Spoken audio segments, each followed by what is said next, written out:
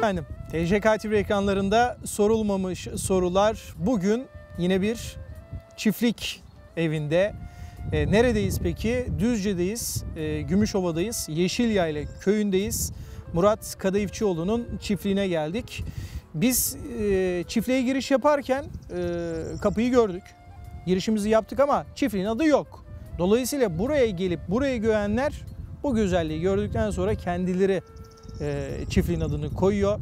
Biz yola çıktıktan sonra e, buraya geldikten sonra Gökhan Gül saklı bir cennete gidiyorsunuz demişti. Gerçekten kapıdan girdik. Acaba nelerle karşılaşacağız diye merak etmiştik. Aşağı doğru süzüldük, indik. Gerçekten dediği gibi bir cennetle karşılaştık. O cennette de Murat Kadayıfçıoğlu bizi ağırladı. Biz hoş geldik. Ee, siz de programa katıldığınız için teşekkür ederiz. Nasılsınız? Çok teşekkür ederim. İlk önce hep beraber hoş geldiniz. Ee, memnun ettiniz. Ee, sizleri burada görmekten memnun duyuyorum. Murat abi çiftliğin adını koymamışsın. Herhalde gelen konukların isim veriyor. Bu çiftliğe ne isimler konuldu? Biz Gökhan Gül'ün tüyosuyla Saklı Cennet'i aldık yapıştırdık. Ee, daha neler duyduk bu çiftlik hakkında? Bu cenneti ben kendime yaptım. Onun için ismi yok. Başkaları için değil sadece benim. 35 yıllık profesyonel hayatımın tüm kazancımı rüyam olan bu çiftliği yaratmak için kullandım. Adı da yok, yeri de bilinmesi çok istediğim bir şey değil. Kendime yaptım, kendi cennetim. Gerçekten yerinin bilinmesini istemiyor Murat Kadayıfçıoğlu onu söyleyeyim. Neden böyle söylüyorum? Çünkü ben buraya gelirken abi dedim bana bir konum atar mısın dedim. Konumu atıyor ama süreli. Yani geldikten sonra ortadan kalkıyor konum. Dolayısıyla buraya gelince biz belki bir uyanıklık yaparak konumu kendimize göndermeye çalışacağız. ee, şaka bir yana ama bunlar yaşandı onu söyleyeyim size. Samimi bu konuda.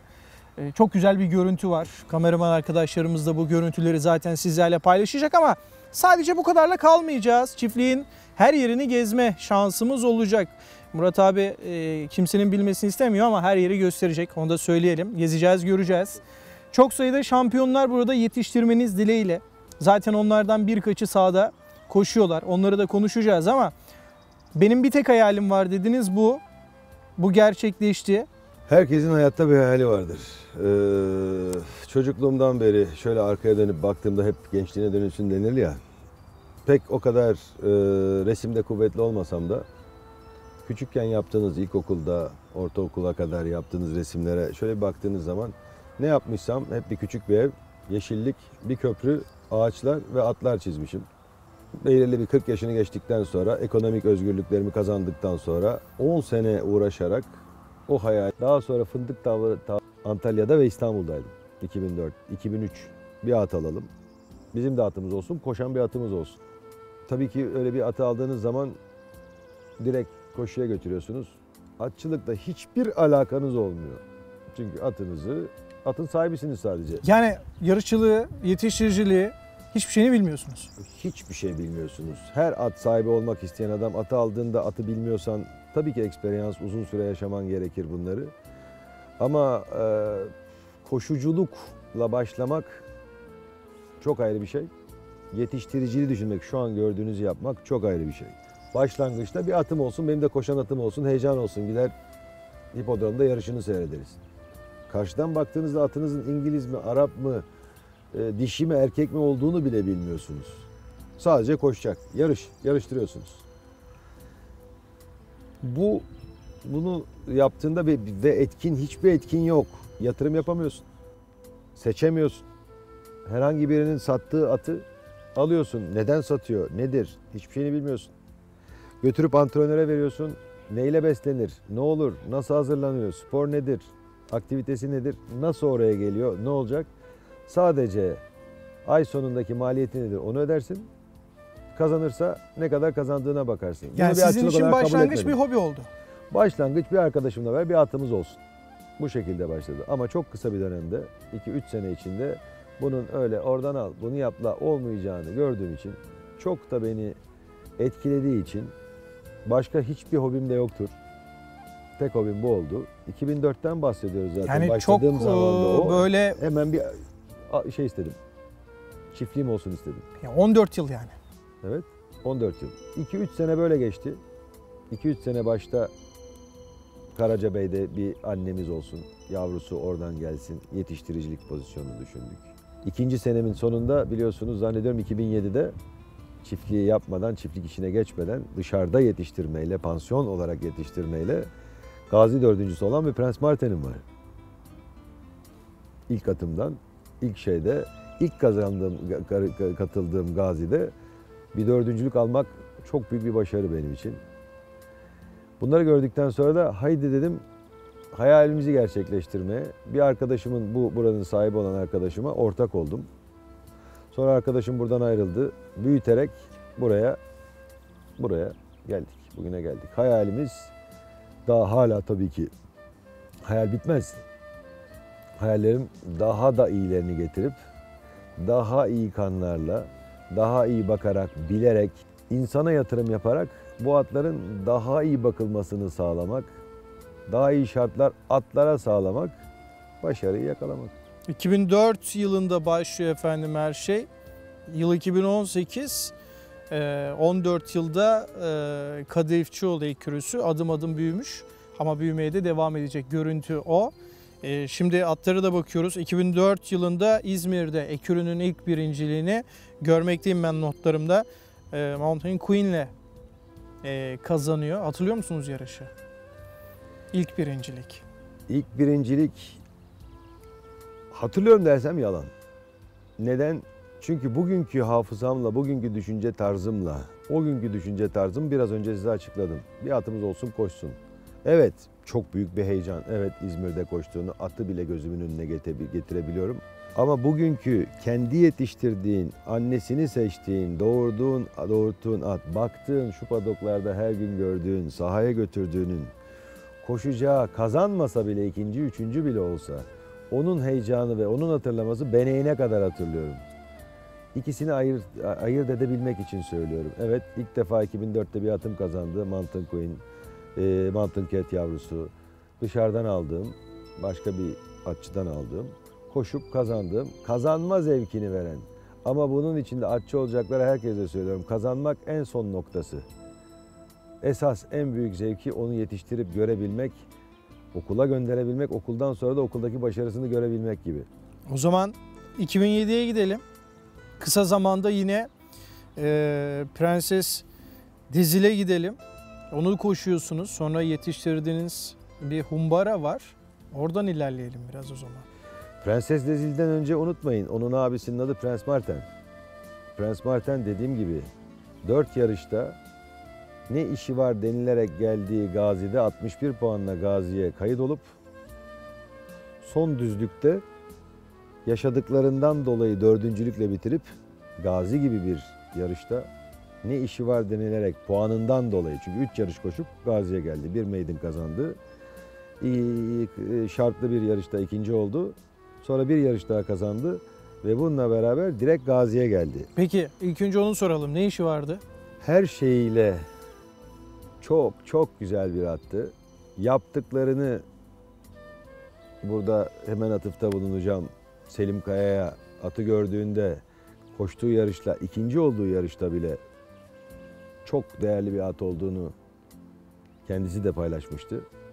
Gazi'de eğer daha önceden hazır bir at olmasaydı bineceği at da oydu. Kendisi de söyleyebilir bunu. 3 yaşını dönmüş bir at her şeyini gösterir. Bunu orada gördüğümüzde, atı gördüğümüzde her şeyle inandık.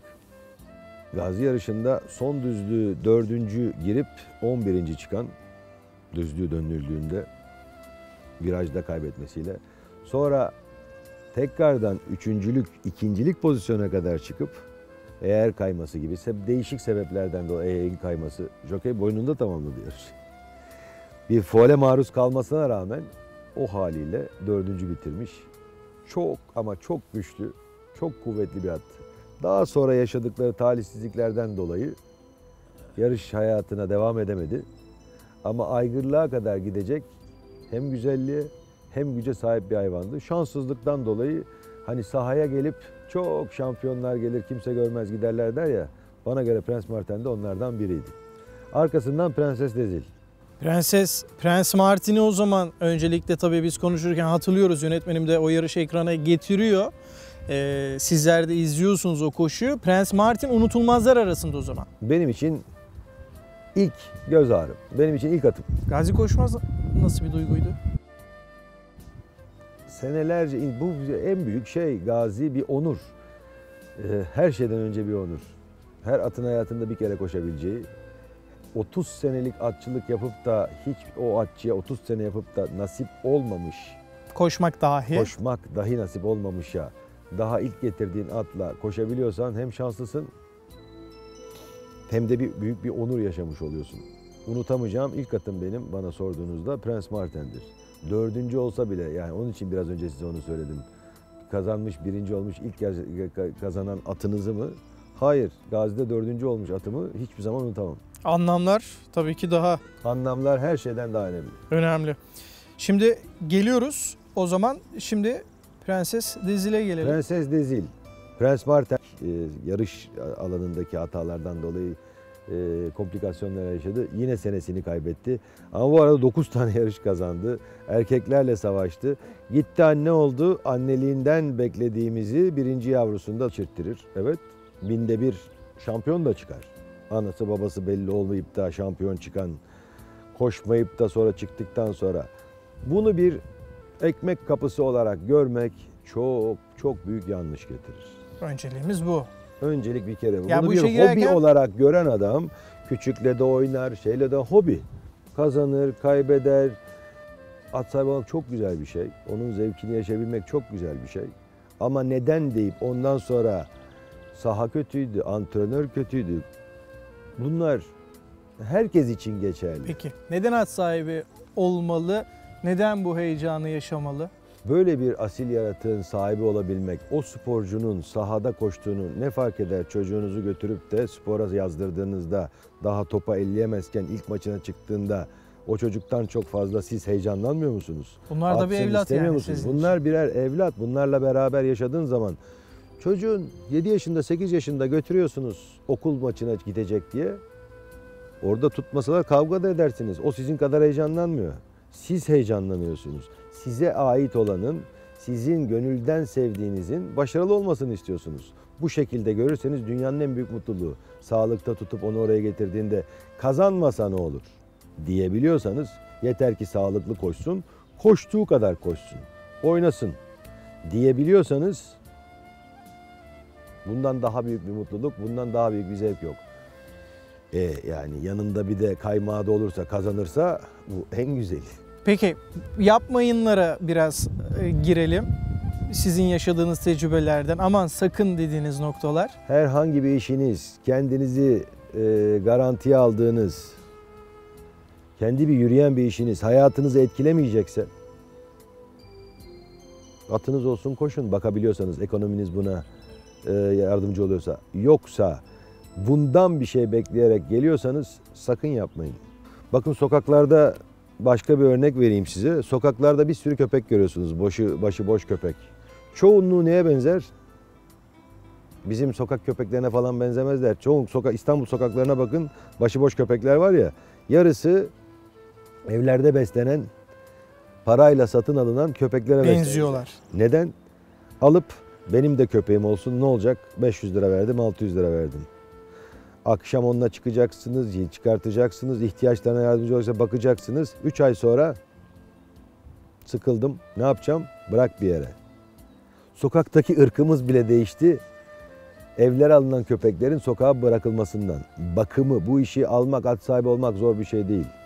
Bakımı çok zor, çok masraflı. Bir sporcu sporcu yapabilmek için devamlı ilgilenilmesi gerekiyor.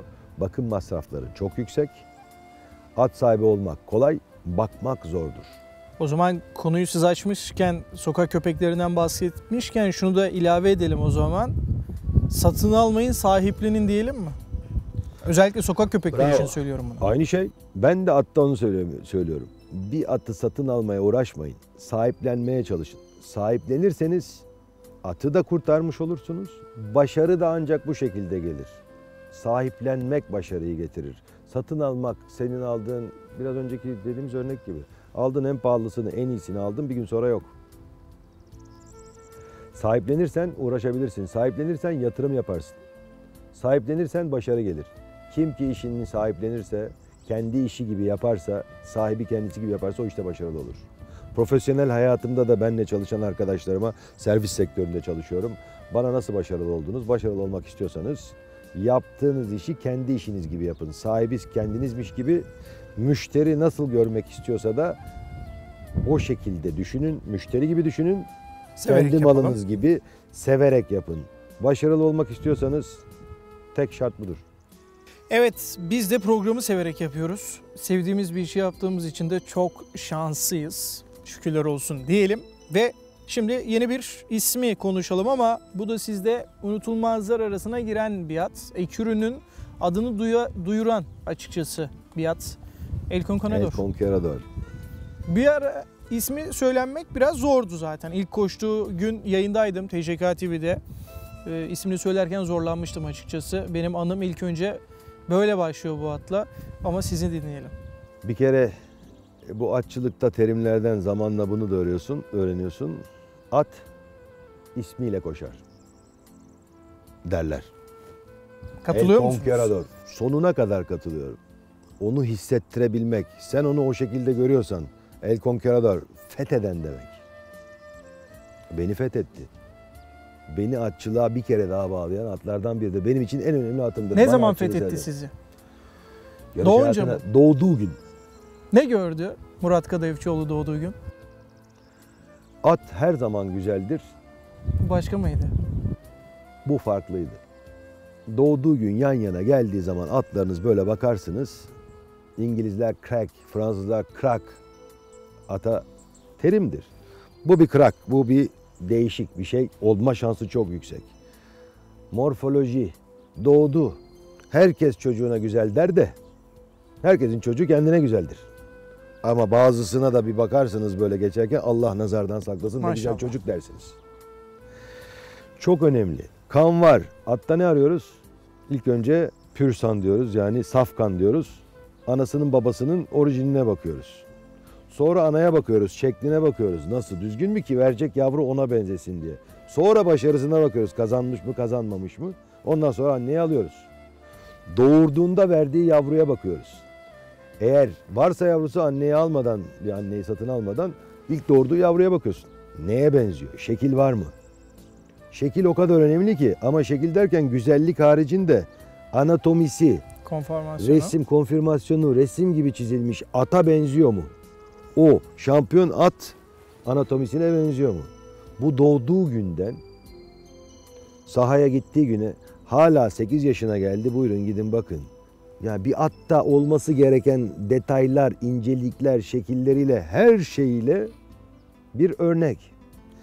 Doğduğu günden Ha bazısı biliyorsunuz insanlarda da doğdu güzel, ergenlik geldi, sivilce çıktı, boyu uzadı, öteki tarafı kısa kaldı. Hepsinde atlarda da bunları görüyorsunuz. Bir çirkinleşiyor, bir güzelleşiyor, bir ön kalkıyor. Hiçbir evresinde sahaya götürünceye kadar hiçbir yanında çirkinlik görebilecek bir şey olmayan bir at. Hala da benim gözümde öyle o kadar da güzel. Atlarımın hepsini beğeniyorum. Ama benim için en güzeli, en anlamlısı hep El Conquerador oldu. Peki. Hala da onun için iddia ediyorum üstünde. Sorana bazı o O, soru oraya gelebilir. geleceğim, oraya geleceğim. Şimdi isimlerden de biraz sormak istiyorum. Doğan tayınızı hep başında oluyor musunuz? Doğduğu an mı? Evet. Çiftlikte denk gelirse tabii ki. Yoksa bunlar biliyorsunuz e, e, Peki. rezervasyona göre doğum yapmıyorlar. Görünce mi isim e, geliyor aklınıza yoksa araştırıyor musunuz? Ta- biraz tahkik ederseniz isimleri sonra da bakarsanız hepsinin bir anlamı olduğunu Çalışıyor ders çalışıyorum evet. Adlara ders çalışıyorum. Atımın bir kere bir doğumdan sonra gelip doğan atımı görüyorum. Dişi, erkek, şekil.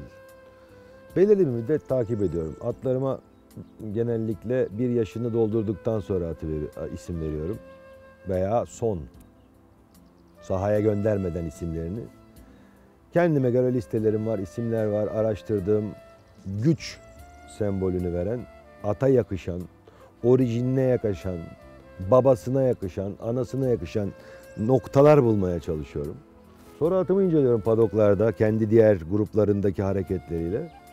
O isimlerden kendisine en uygun olanı bulup baba, ana, orijin hareketler ve içimde hissettiğimi ve konu olarak seçtiğim Hepsini bir kombin yapıyorsunuz yani. kombin. Ondan da en uyanını bulup bana da hani uzun kış akşamları derler ya atlarımla ilgili düşünebilecek atlarımı tekrar incelettiriyor bana. Bu, Bu da. arada yani lafınızı keseceğim ama atlarla sadece o yarışı koşalım, bu yarışı koşalım, şu başarıyı elde edelim falan ama neler yaparak zaman geçirebildiğini anlatıyor Murat Kadayıfçıoğlu. Vanetta. Onlar olmasa ne Vanetta ne yapardınız? Bilmiyorum sizden dinleyeceğim onu. Kuzey Amerika yerlilerinde bir kadın adı savaş atı anlamına geliyor. Vanetta'yı bakarsanız Google, Monsieur Google'a sorun hemen söyler. Amerikan hükümeti de kullandı. Nerede kullandı? Büyük uçak gemilerinden birinin adı Vanetta'dır. Ben uçak gemisi adı olarak koymadım. İsmin orijinde, orijininde savaş atı anlamına geldiği için adını Vanetta koydum. Wakanda'nın da hepsinin de birer anlamı vardır.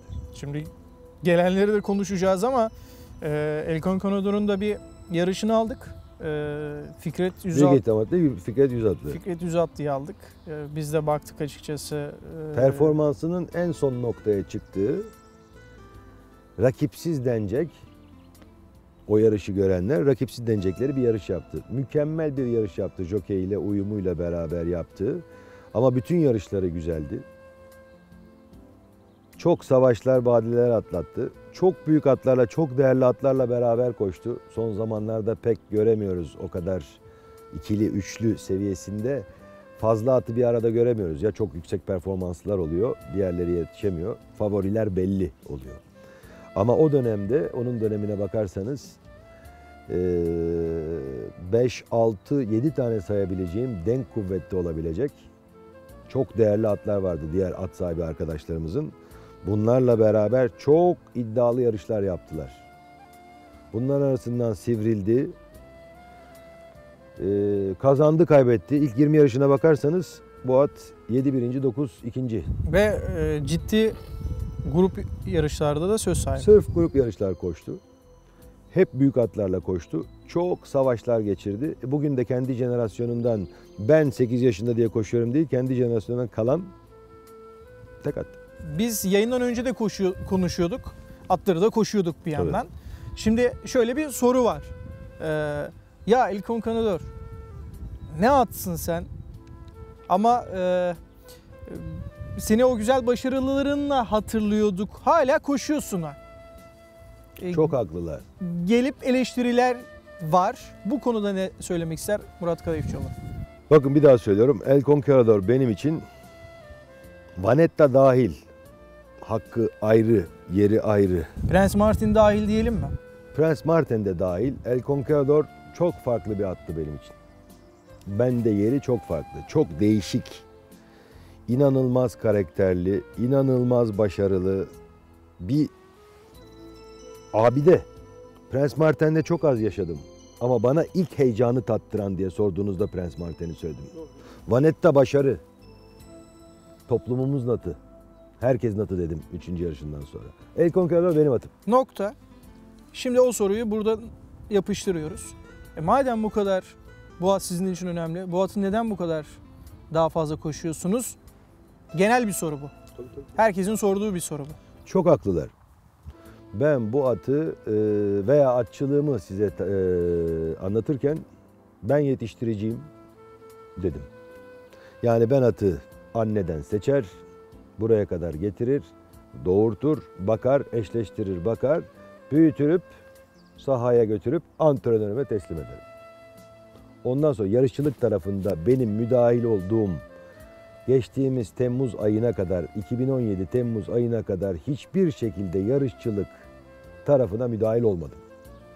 Ne yarış seçimine, 2017 Temmuz milat. Milat, ne yarış e, antrenör e, pardon yarış seçimine bir atın yarış yerinde, ne idmanına, ne yarış seçimine, ne jokey seçimine üstüne basarak söylüyorum. Hiçbir atımın jokeyini, hiçbir atımın yarışını, hiçbir atımın nasıl idman yapacağı konularında fikir yürütmedim, talepte bulunmadım. Karışmadı. Aynen yurt dışında olduğu gibi benim kafamda da oydu. Public trainer denilen atımı götürüp antrenörlerime teslim ettim. Zaten vaktim de yok. Profesyonel bir yönetici olduğum için ona vaktim yok. Çiftliğimle nasıl uğraşıyorum? Cumartesi pazarımı burada geçiriyorum. Yaşayabiliyorum. Ama sahadaki atına kim ki diyor ben ilgileniyorum. Başka işinden ayırması gerekir. Ben profesyonel bir yöneticiyim. Sabah 7 akşam 6 mesaim var. İlgilenemem. Onun için de bu işlerimin hepsini antrenörüme, antrenörlük müessesine teslim ettim 2017 Temmuz'una kadar. Ekibinize. Ekim'de. El Conquerador'da benim içimdeki bir bir şampiyon benim için. Çok büyük bir at. Bana çok değişik duygular yaşattı. Başlangıcı harikaydı. Devamı çok güzeldi. Ee, dörtlü yaşından sonra çok yüklenmekten, çok badireler atlattı. Çok savaşlar verdi. Yarışlarını seyredenler biliyordur. Herkesin gönlünde taht kurdu. Ne kadar e, kazandığı bütün gruplar grup 2, grup 3 olsa, grup 2'de, grup 3'te geçtiği atlara ama burunla, ama bir hatadan, ama bir folden grup 1'lerde geçildi. 6 yaşında yaptığımız bütün kontroller yapıldığında sahanın en sağlam atıydı. Hala 6 yaşında bir kemik yaşamadı, hiçbir şey yaşamadı. Ama çok büyük savaşlar yaşadı. Ondan sonra atımızın Savaşlar yarış içindeki yarış rakipleriyle. içindeki rakipleriyle çok büyük savaşlar yaşadı. Bunların hepsini bütün takip edenler, görenler hepsi biliyor. Çok değerli atlarla koştu. Birinci savaş rakiplerin çok kuvvetli. Bunlara dayanabilmek. İkinci savaş yarış stratejisine ve yarış stratejilerine savaşmak Yarış içindeki kaldı. taktiklere, rakiplerinizin Tabii müdahaleleri. ki normaldir. Bu var. Her sporda da var. Her yerde Adı var. üstünde Bu- yarış. Yarış bu. Bunda da yarış. Bunlara Göğüs dayanıp geren. göğüs gerip sağlam kaldı bir kere bir. Sağlamlığı. Bir kere herkes şunu kabul etmeli ki başka yerden geliyorum. 8 yaşında hala savaşabiliyor ve hala yarış kazanıyor. Yaşadığı badirelerden sonra. Bir kere bir sağlamlığını kanıtlamak. Bir. Artı milat dediğinize gelelim. 2017'deki milat benim için 2017 Temmuz'da belirli bir size temin anlattığım yarışçılık bölümünü public trainer yani eee, şeye bağlılık eee, antrenöre ben çalışma şeklimi bundan sonra yatırımımı insana yapacağım dedim. 2017 Temmuz'da yaşadıklarımızdan sonra belirli bir başarısızlıklar yaşadık. Olabilir her ülkenin başına gelebilir. Herkesin bildiği Vaneta veya diğer taylarım 14 atla başladığım 2017 sezonunda Temmuz ayında bir atla kaldım. 13 tane at kaybettim. Oraya veya buraya gitti. Herkes yaşayabilir bunu. Yani bir şi- şikayet anlamında söylemiyorum. Hiçbir şekilde de söylemiyorum. Bunun Bunları- içinde bunlar var. bu işin içinde bunlar var. Ben dedim ki o gün bir şey dınk etti. Dedim ki ben yatırımımı insana yapmak istiyorum. Bunlara yaptığım yatırım bakar mısınız şu güzelliğe? Yani yanımızdaki şu güzelliğe İşte bakın. programımıza Misafirimiz Lakolita'nın oğlu. çok Ee, kısa hatırlatalım. Ee, anne kardeşi geldi şu anda yanımıza. Dracorius'un anne kardeşi veya El Conquerador El Conquerador arkada duran El Conquerador'un ablasıdır. İlk yavrusudur. El Conquerador'un ablasının kızı. O da merak etti tabii ki. E, merakımı gideriyor. Ee, bakalım sahadaki başarılarınla umarız seni görürüz. Bir tadına bakmaya çalışıyor. Bakalım bir parça alabilecek mi bizden? Ee, küpede de yazıyor zaten. Küpeye gitmek istiyorum ama biraz Elletmez. e, ne kadarlık bu Murat abi? Bu da bu Şubat sonu doğumlu yani Mart Nisan iki buçuk aylık. İki buçuk aylık. Annesi ve tayı şu anda sorulmamış sorulara konuk olmuş durumda efendim.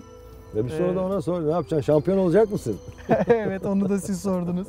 El Conquerador'dan bahsediyoruz. Kız kardeşi. İlk ablası. İlk doğan. Annesinden ilk doğan. Adaba'nın yani annesinin ilk dayı. Bundan sonra El Conquerador doğdu. Evet. Bu da inanılmaz Şu anda bir takım anneydi. elbisemi Takım elbise ısırıyor. gitti. Sevgili e, sponsorumuza buradan ikinci takımı rica ediyoruz. Evet. E, biraz program yapmamıza izin ver lütfen. Evet. İsmi koyuldu mu? Hayır. Göreceğiz. Meraklı mı yapsak bunu? Ne yapsak? Olabilir. Olabilir. Olabilir. Anne de geldi. Anne de gelecek. O da merakını giderecek. Görüntü o. E, devam edelim. Edelim. 2017 milat dediğiniz yerde ben insana yatırım yapmaya karar verdim. Yani bu iş sadece atla değil, atı yaratabilmek için insana ihtiyacımız olduğuna karar verdim. Bu tabii kimse yanlış anlamıyor. Yok diye diye bir şey yok. Ben kendi takımımı, kendi insanlarıma eğitim, öğretim, yaşam, tarz ve atla birlikte olmayı beraber yapmak istemeye, istediğime karar verdim. Bir de şans. Tabii ki bir de şans değiştirme vardı. Bir de şans değiştirmeyi. Ama bu işte de bütün ekürilere, ilk at sahibi olacaklara değil, bütün ekürilere ne tavsiyen olur?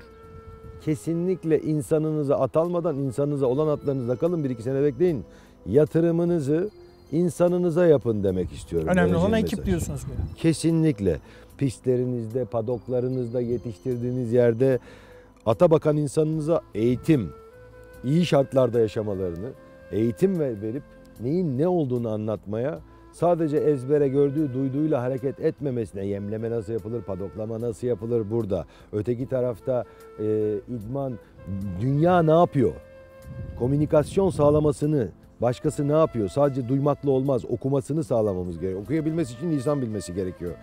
E, vakit bulması gerekiyor. İyi şartlarda çalışması gerekiyor. Buna karar verdim. Neden? E çünkü ihtiyacım bu olduğunu gördüm. Ben bir işletmeciyim. Bu değişiklik gerekiyor dediniz. Benim için bu seviyeye getirdikten sonra yapmam gereken insana yatırımdır diye düşündüm. Onun için atlarım olan atlarımı toparladım. Belirli bir küçülmeye gittim.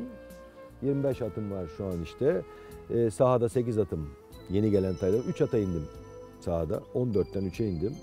Onları geriye aldım. Bir tanesi Vanetta'dır, bir tanesi Venona'dır. Ee, biri El Conquerador'dur. Bunları geri aldım. 3 atla kaldım. Bunlar da bakıma girdi. Temmuz 2017. Biraz sakin. 6 ay. İlk önce bu konuda e, ilerleyebileceğim bir antrenör, arayışa. ekip arayışına geçtim. Başladık. Şartlar denk geldi. Daha önce birbirimizi tanıdığımız bir arkadaşımızla genç atçılığa aprantilikten başlayıp jokeylik kariyeri yapmaya çalışan, sonra değerli antrenörlerimizin yanında senelerce ikinci antrenörlük yapan, yurt dışına gidip eğitim alan, yurt dışında 3 sene çalışan bir arkadaşımızı Vedat Boyraz'ı antrenör olarak tayin ettim. Şu an birebir her gün stratejiyi ben söylüyorum. Beraber karar veriyoruz. O uyguluyor. Yine işine karışmak yok. Ama global olarak atlarımıza nasıl bakacağımızı, çiftlikten oraya gidinceye kadar ne yapacağımızı hepsini beraber kendi mantığımla anlattıklarımı onun at bilgisiyle birleştirerek saha tarafını beraber Bir ortak buradaki- noktada buluşuyoruz. sabrımızı oraya. Artı lisan bilmesinden dolayı ilk defa yapabildiğim şeyi kendisini eğitimlere gönderdim. Yurt dışına gitti. Fransa'ya gitti. Bir hafta geçirdi. Bütün atlarımızı burada onunla beraber kırıyoruz. Kovalayarak değil, bilerek öğretilen üniversiter e, nasıl bilgi aldıysa o şekilde. Bunları alıp tüm veterinerlerimizle, tüm ortamla paylaşarak atlarımıza en iyi bakımı sağlamaya çalışıyoruz. Yarışı sonra düşünüyoruz. El Conquerador'a gelince buradan bağlıyorum. Bu yapının içinde El Con- Conquerador'a kaybettirdiğimiz son 3 senede ona kaybettirdiğimiz o hatırlanan iyi El Conquerador'u götürüp de kötüye biz çevirdik. Unuttuk biz. Unuttuk. Onun hakkı olan tüm bakımı tekrar verip onu sadece bu sene bu bakımla bu e, yöntemlerle getirebileceğim en şerefli yere onun şerefi için onun iyi at olduğunu, ölmediğini göstermek istediğim için, yani bitmediğini biz yanlışlar yaptık inandığım için o yanlışları en fazlasına kadar düzeltip bu sene boyunca ona koşma, kendini tekrar gösterme imkanını sunup sene sonunda yarış hayatından çekmeyi planladık. Bu şansı ona vereceğiz dedik. Nitekim Temmuz ayında geri çektiğimiz ata 4 ay düzenlemesini yaptıktan sonra bakımlarını, ihtiyaçlarını tespit ettikten sonra bakın yarışlarına Kasım'da tek koşan atımdır. İlk yarışında ikinci, ikinci yarışında da birinci oldu. 8 yaşında El Conquerador. 5. grup, 5. seviyedeki yarışlarda bile sonunculuğa yarış beni koşmayın diyen attı. Ben birinci etabını kazandım kendime göre. Birinci etabım neydi? Atı geri getirmek. Bütün saha diyebilir ki neden yapıyorsun 8 yaşındaki ata? Neden koşuyorsun? Mezardan at çıkartıyorsun diyen arkadaşlarım oldu. Aynı yarışta beraber koştuk. Mezardan çıkıp onları geçtim. El Ama- Conquerador geçti. Şunu yapmadınız galiba. O E, noktayı koymadık daha. Aklınızda Nokta- bir yarış var mı? Onun adına uyacak yarış var. Hazırlanıyoruz. Hazırlıyoruz. O yarışı koşup ondan sonra da ben onun hakkını Final- ister final- ikinci kazanmak diye bir şey yok. Orada bir final yapacaksınız. Ben atımı El Conquistador madem bu kadar seviyorlar soruyorlar.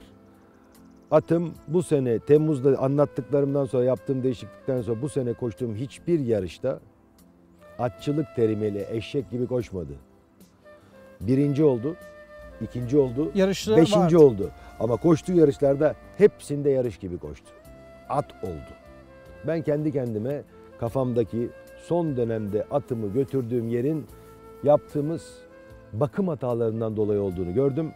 Atı tekrar sağlığına en üst seviyesine getirip bir yarış, iki yarış daha o zevkimi onunla beraber, o zevki ona yaptıracağım. Hayatının sonuna kadar da ben bakacağım veya baktıracağım.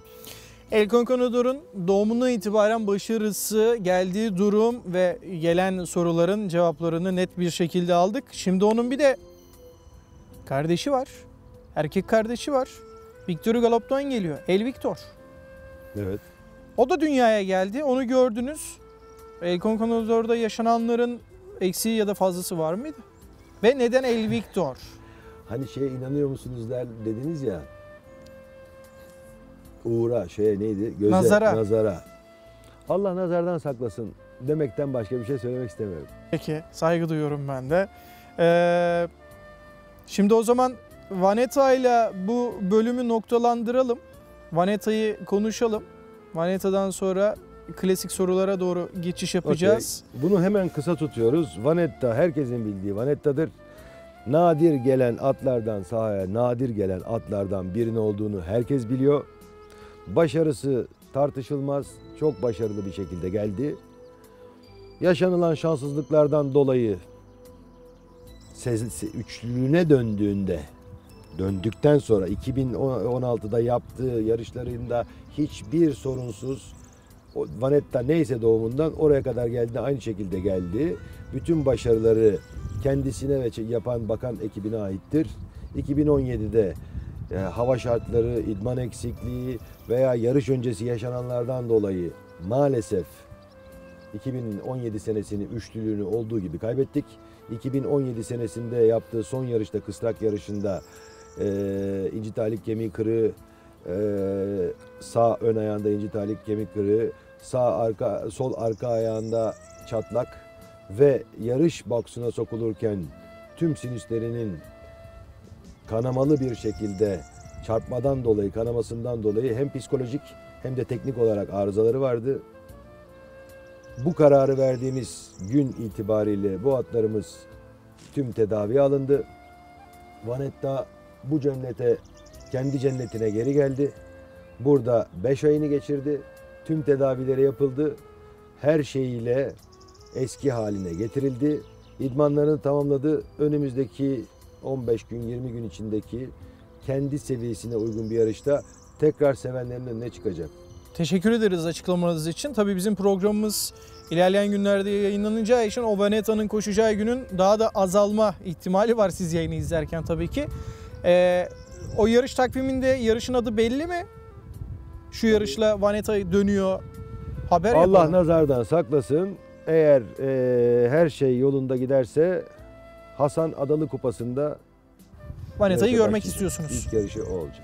Peki ayakları düz bassın. Vaneta'yı bir son dakika haberi olarak da paylaşalım.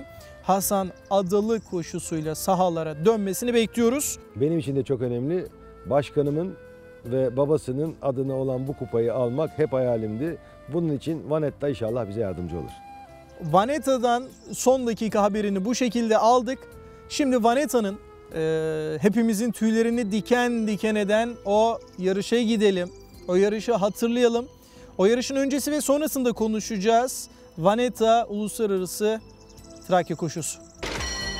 Start verildi ve koşu başladı. Çıkışta bir numaralı Best Solution rakiplerinin 4 boy gerisinde kaldı. Koşunun liderliğini 5 numaralı Veneta aldı. Yarım boy dışında 2 numaralı Mail Shot yer tuttu. 1,5 boy geride 3. 4 numaralı Top Score var.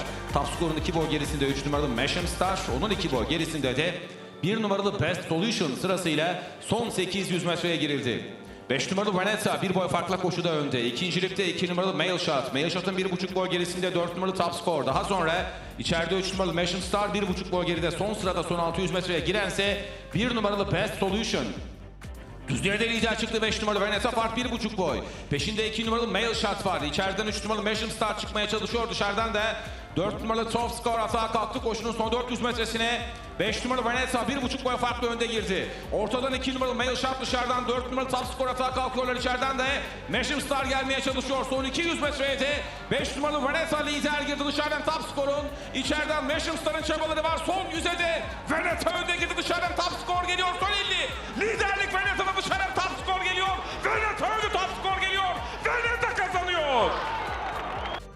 Evet Vaneta e, e, bir milli mücadeleyi kazanmış gibi biz e, mutlu olduk. Ama e, yarışın sonrası yaşananlar, protesto çıkması o anları hatırlıyor musunuz?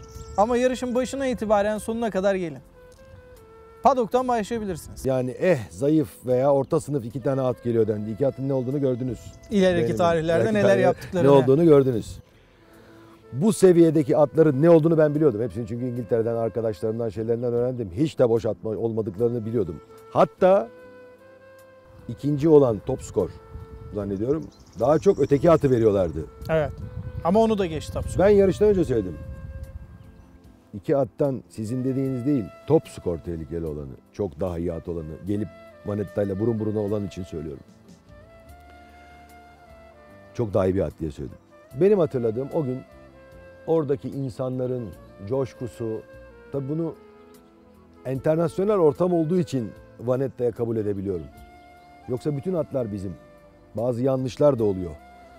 Türk atlarıyla beraber koşarken Vanetta reklam yok öyle bir şey. Biz eşitiz.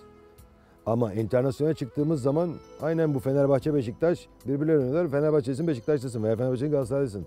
Ama yabancı bir takıma karşı oynadığı zaman hepimiz Fenerbahçeliyiz, hepimiz Galatasaraylıyız, hepimiz Türk takımla beraberiz. Oradaki o gördüğüm bana çok büyük bir mutluluk verdi. Birinci hatırladığım herkesin Vanetta deyince yarışa çıkacağımız o çocukların, o kadınların, o insanların hepsinin tellere doğru gitmesi. O ses köşeyi döndükten sonra Vanetta'nın en önde geldiği hatırladığım ikincisi o. Üçüncüsü içim hiç ayaklarım bizim titrer meydan bir yarışa çıkan bir atımı kazanacak mı kazanmayacak mı dediğinde heyecandan. Resimlerde de görebilirsiniz. Bakarsanız orada put gibi duruyordum. O kadar emindim ki kendimden. Bilmiyorum neden. içimde Vanetta çünkü o. Böyle bir şey var Vanetta. Yaptı, gösterdi ne yapacağını. İkisinin arkasından saldırdığını hatırlıyorum. Onlar geldikçe onların aksiyonları hızlanıyor. Vanetta'nın aynı. Çünkü boy farkından çok farklı bir şekilde aksiyonları var. Ve pota geçildiğinde gayet rahat bir şekilde hiçbir şeyden habersiz tabii. Oradan insanlar, onlar geldi, onlar öpüyor, onlar bir şey soruyor. Ortalık alkışlar şeyler dünyanın en mutlu anıydı. Herkesin mutluluğuydu onunla beraber. Ben inanın ki seremoniye çıkıp kupayı alıp yukarı çıkıp oturduktan sonra Onlardan haberdar oluyorum. protesto, protesto varmış, yokmuş. Bunların hepsini sor- Ne- Çünkü benim seyrettiğim açıdan baktığım yerde hiçbir şey görmedim. Sonrasında baktınız mı merak edip? Karşılaştırdığım zaman internasyonel yarışlarda karşılaştırdığım zaman bir arka baktığım zaman en son ark yarışında gördük neler olduğunu. İngiltere'ye baktığım zaman, İrlanda'ya baktığım zaman bu tip yarışlarda değil protestodan değiştirilme, protesto dahi çekilmiyor, İnceleme daha yapılmıyor. yapılmıyor. Ben öyle gördüm. Peki burada noktayı koydum. Bu yarıştan sonra Vanetta hak Ama pardon orada şey yok. Eğer bu yarışı inceleyelim beraber derseniz ön, arka her tarafıyla fol var veya yok ikisine de hayır demem. Diyemem yani bu nasıl değerlendirdiğine bağlı. Bazı yerlerde buna fol de diyebilirler. Bundan dolayı yarışı da değiştir. Yarış fol var mı? Bir şey var. Bunu kabul etmek zorundayız. Ama bundan yarış değişir mi değişmez mi? E bunun da hakemi var. Neden bugün hala tartışıyoruz ki bunu? O günkü hakemler Hakemler hep tartışılıyor kararı- ama. Hakemler tartışılıyor. E, onlar o kadar tartışmadı ama o günküne itirazını ettiler. Arkasından gelip adam elimi sıkıp bravo çok güzel yarış oldu dedi. Benim Bu sonuç. da çok önemli bir detay. Çok Şimdi önemli bir detay. Orada hakkını aradı. Hakem bu penaltı değil mi? Yurt dışında da diyor. Değil tamam diyor geçiyor. rakibiniz gelip Biz taş atıyoruz ra- Türkiye'de. Rakibiniz gelip sizi tebrik Tabii etti. ki çıkışta karşı Çok güzel. Ee, başarılar dilerim dedi adam. El sıktı. Hiç demedi ki foul oldu görmedin mi sen ne diyorsun? O böyle bir şey demedi ama biz burada 15'er sayfa yazılar yazıldı. Şeyler yapılmış duydum. Son soru. Vaneta'nın bu yarışından sonra dış basına yansımaları ve Vaneta'ya gelen teklifler oldu mu? Güzel bir soru. Dışarı yansıdı tabii ki gözüktü. Yurt dışından dolaylı olarak teklifler de iletildi ama doğru mudur, değil midir? Ee, veya kimin onları tabii ki onlar geçmiş zaman. Ee, tabii ki çok dikkat çekti. Davetiye, yurt dışında yarışa gidebilme bunların hepsi olanakları vardı. Hala da var. Pekala. Şimdi eee, ilk bölüme bir nokta koyalım, bir ara verelim, devam edeceğiz.